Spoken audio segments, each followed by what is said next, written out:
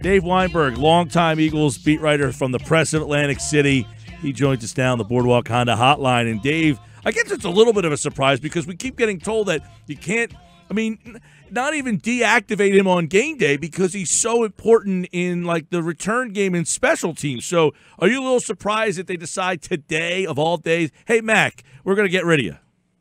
Yeah, I'm a little bit surprised. Um, well, he doesn't have a catch in the last two months, but still, he.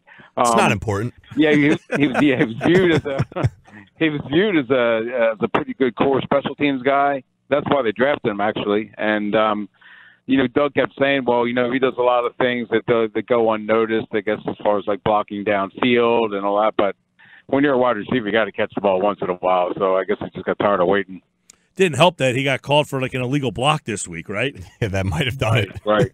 Yep, that's true too. Yep. Yep. So I mean, he essentially uh, he gets cut today, but I, I mean. I know we all thought they were going to win that game, and we're all shocked and surprised that they lost. But are you so shocked and surprised that you don't think they can pick up the pieces, move past this, and get themselves back together over these four games? Uh, no, I mean they look terrible on Sunday, no question about it. But Doug Pederson just has this uh, odd way of rallying rallying that team just when you think that they're down and out. And so, you know, given that, I, I wouldn't be surprised if they go four and zero oh down the stretch. Now, whether that's going to translate in anything, I still don't think they'll do much in the playoffs. But um, I wouldn't be surprised if they win the NFC East. You know, that's just the way Doug is. What are your thoughts on Doug? You know, speaking of Mr. Pederson, because I, I said this earlier. It's like I don't know this for a fact. I'm just throwing things at the wall, seeing if they stick. But I wonder if he's relying too much on past seasons and last season. And we've been in this situation before. And it's not the same team, it's not the same group of guys, although the key guys are there. But do you think he could maybe be handling this wrong? I guess we'll find out. But what are your thoughts on how he reacted to this loss against Miami? Yeah, this is like the first time I've ever been, I guess, disappointed in, in what he's doing. Um, you know, he just didn't seem, you know, the, the fact that you said, you know, they didn't want it more, they just outplayed us. So you're outplayed by the Miami Dolphins, and you have so you have a problem. And um, he was just like real snarky, uh, very defensive, and that's usually not like him. I mean, he's usually you know pretty forthright and honest, and you know he's the first one that'll tell you you know the team didn't play well, but um, yeah, I'm a little disappointed. I think he could have be. I think he could be handling it a little better, to be honest. If that's what you're asking, yeah. Yeah. Do you think his conf- confidence could be wavering at all? Um, confidence in the team. Yeah, just the uh, team or himself. I mean, because I agree. I, I saw the same things. Yeah, I'm not not in himself. I mean, Doug's been around a really long time, and he's been through the ups and downs in this league as a you know a player and a coach. So I still think he believes in himself and what he's preaching and what he's teaching. Um, I'm just a little concerned about you know he keeps trying to throw it on the leaders uh, to pick up the pace, and they just don't seem to be doing that right now. Um, this locker room seems to be uh, a little disjointed. You know, I, nobody's pointing fingers, but you know, you rumblings here and there, and people are, you know, there was like five guys who didn't even talk after the game on Sunday, um, and that's not like you know guys like Jason Kelce or or you know whoever that you know they're usually they're the first ones that you go to in the locker room, and they're always you know willing to answer any questions, uh, no matter how bad the loss it is. So for them to be um, you know you know blowing off the media, that that kind of sends like a, a little bit of an alarm to me. Dave Weinberg for the Press of Atlantic City covers the Eagles. They get ready for the Giants and you know, their defense had been playing well, Dave. They finally seemed like they got their defense fixed. They had a lot of injuries. Those guys came back. They started to play well, and then they imploded yes uh, Sunday. So, who are they defensively? uh, I don't know.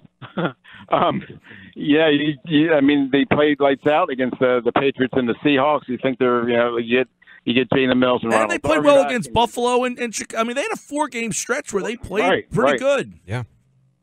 Yeah, absolutely. And you know, to fall apart against the Dolphins of all teams, um, you know what Ryan Fitzpatrick is because he did it to you last year with Tampa.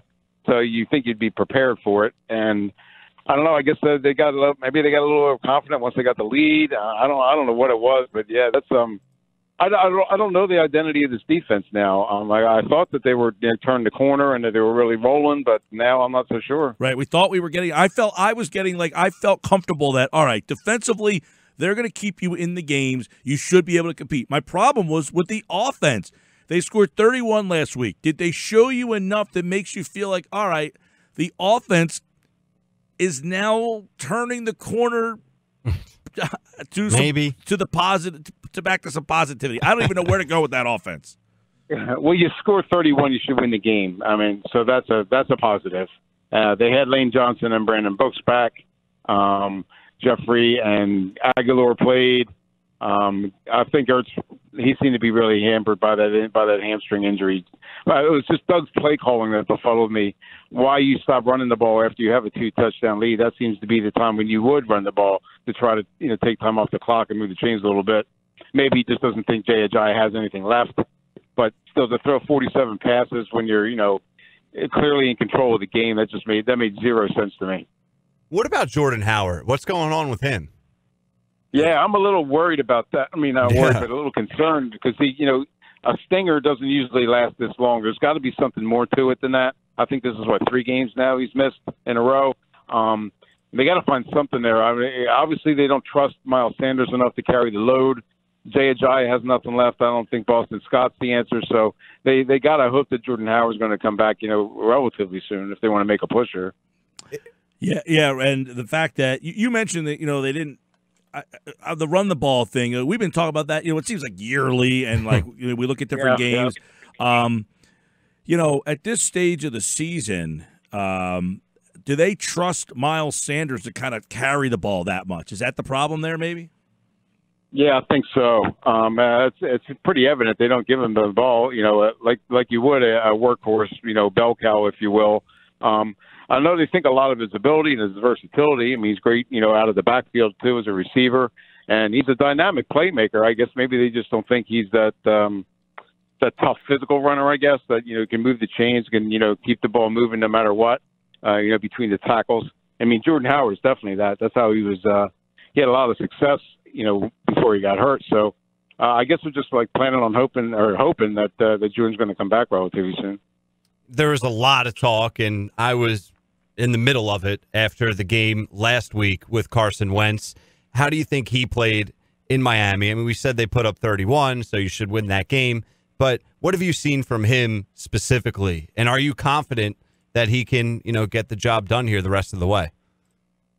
Uh, no, I'm not confident. Yeah. Um, I, you know, the statistics suggest that he's having a decent season, but you, you got to look beyond the numbers. It just doesn't seem like he's not. He's clearly not the same player he was two years ago.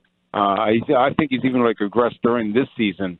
There's just something about, you know, you, you're throwing a, you know a short uh, outlet pass ten feet over the guy's head. Um, he, he just doesn't seem to have the. Um, I don't know if it's, he just doesn't have the confidence in his receiving corps. Uh, other than Zach Ertz, it doesn't seem like he trusts anybody and tries to do too much himself. Um, I I just don't. I don't know what it is with him. I, I he just seems like he maybe he's he's even lost confidence in himself a little bit, which is kind of difficult to believe. But um, he, he's clearly not the same player that he was.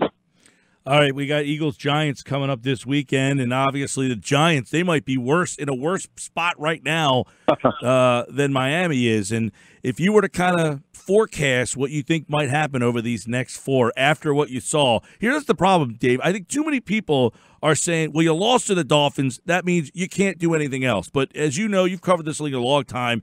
It's so week to week. What happened last Sunday really has no bearing on what happens the following Sunday here. So, do you think that they will pick up the pieces and make these next four games interesting? Yes, I do. Uh, based on you know how Doug has, has uh, done this the last couple of years, based on the history of the team, and like you said, this league is a is very much a week to week thing. You can never uh, really count anybody else, except maybe the Bengals, I guess. But it's, um, yeah, the Gi- I mean the Giants are floundering, but they always seem to play the Eagles pretty tough. Uh, Pat Shurmur was on the staff in, in Philly for a while, so he kind of knows the team, I guess.